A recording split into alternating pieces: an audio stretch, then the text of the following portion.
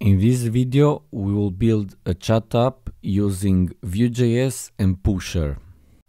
Before we build the app, I would like to remind you that this video can be combined with other videos. So if you want to use Vue.js with any of these backend technologies, I provided some links in the description of this video. The backend for this video, it is required, so make sure to complete the backend before watching this video. If you already built a backend, let's start building the app. Now let's create the Vue app. So uh, make sure to have installed the Vue CLI and here run Vue create and I will call uh, the project Vue chat. So I'll pick uh, the version th 3 preview here and now let's wait till it's completed. So the project is created I will open it with my IDE. I'm using WebStorm here, but you can use Visual Studio Code. It is the same. Now let's make some changes to this uh, app. I will remove these two folders here, delete them, and this uh, HTML here, this import, this component, and uh, the styles. So uh, I removed everything, and now let's add the template. So we will use Bootstrap. So go to getbootstrap.com, click get started and copy the link for the Bootstrap HTML, uh, CSS, sorry. I'll paste it here and uh, we need the template. So go to examples and the template that uh, we will use is in the sidebars here and uh, I will use uh, this uh, sidebar. So inspect and uh, I will copy the HTML directly here. So copy and I will paste it here. So let's paste it. Now I will remove all these anchor links and I will keep the first two of them. So till here I will remove them and I will remove the first one since uh, the first one has a color that is highlighting. So uh, if we run this up, so npm run. Serve. And go to the browser. It will look like this. So I will remove this um, blue one. So let's remove this. Also I will wrap everything with uh, another div. I will close it. And uh, this div will have the class container. And also these styles here with uh, the width uh, 380, I will remove it. And it will look like this. So it is better. Uh, I will remove this SVG and uh, I'll change these uh, anchor links to just divs because uh, we will not click those. So div here same for this. Div. And it will look like this. So we have the template. Now let's uh, make some uh, changes. So I will change uh, this span to an input. So I will add here input with the same class. And I will remove this and uh, this input it will have uh, a default value. So we need to add a variable for, for that input. So I will add setup here. And uh, I will import also a ref from Vue. And now the variable username is equal to ref and the default value will be username. And we need to return the username here. So we got the value and here we will add the v model for the username. And it will look like this. So this is an input with a default value of username and uh, now let's uh, add the loop for these uh, messages. So the same as the username, I'll create messages which is equal to ref empty array. And uh, I'll return the messages. And the messages will be looped here. So I will add a v-for message in messages. Also we need to add the key here which is a message itself. And uh, we will uh, add here message username. Uh, for the date here I will remove this. And uh, this is uh, the message itself. So message that message and uh, that's it uh, so we won't be able to see anything because we need to add some messages. And uh, what is left is also to add the form. So we need to add a form here to write a message. And uh, this form will have an input with a class form control. It will look like uh, this. So let's add a placeholder write a message. So it will look like this. Let's add some uh, css so I will add here style again.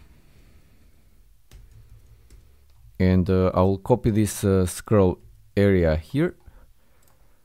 I will add the style for the scroll area which is max height 500 pixels so max uh, min sorry not max So with this, we'll have uh, a space here where we can uh, write our messages.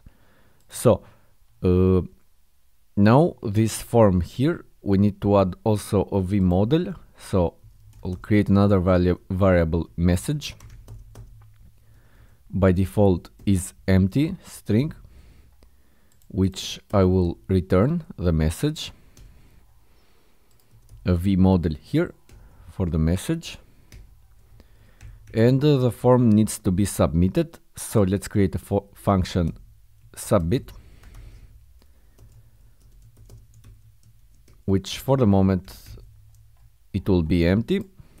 Let's return the submit function and uh, when it is submitted add dot prevent here so the page won't be refreshed uh, we will call the submit function. So everything is uh, ready now. Uh, we uh, took care of everything. Now what is left is to add pusher. So uh, before we sign in for pusher, make sure to have built the backend. If you haven't built a backend, don't continue because the backend it is required. Now that you have built the backend, let's sign in.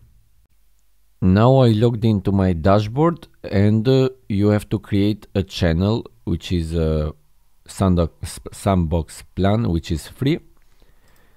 I'll go to my channel and uh, click uh, app keys, not here, getting started. And we have the JavaScript version here for the front end. So what will we do is I will copy this uh, code and in our app I will add also on mounted here and when the component is mounted we need to paste that HTML so I'll paste it here. We don't have the variable pu pusher here.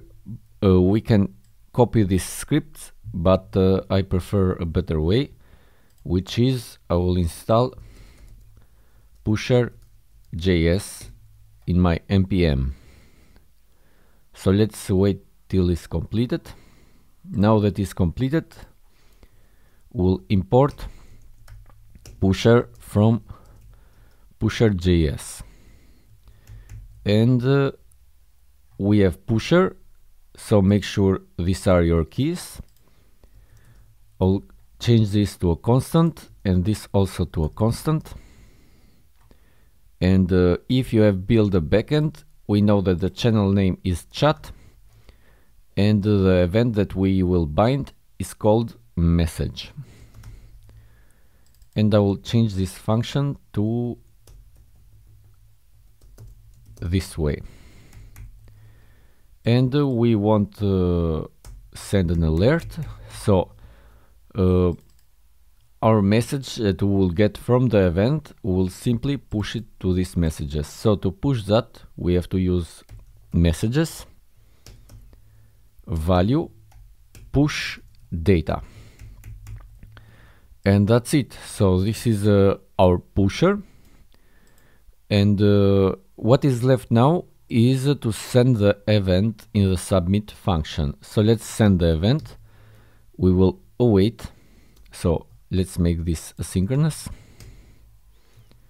await fetch the endpoint is http localhost port 8000 slash api slash messages uh, we need to make the method to a post request. We need to add uh, the headers to content type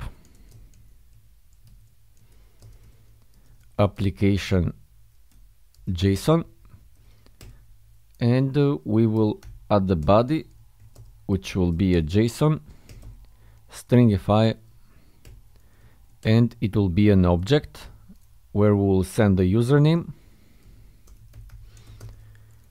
which is a username that value since it is a ref and uh, the value is accessed by the value property. And uh, the message which is message that value.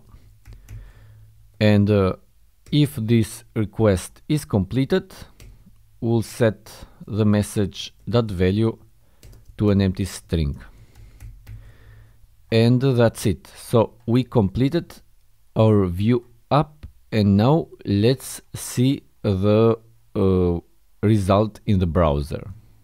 Now let's test uh, the app. I'm using two browsers. Here I'm using Chrome and here I'm using Safari and uh, let's try to write a message. As you can see it is appearing in both uh, uh, browsers and I can write a message here also.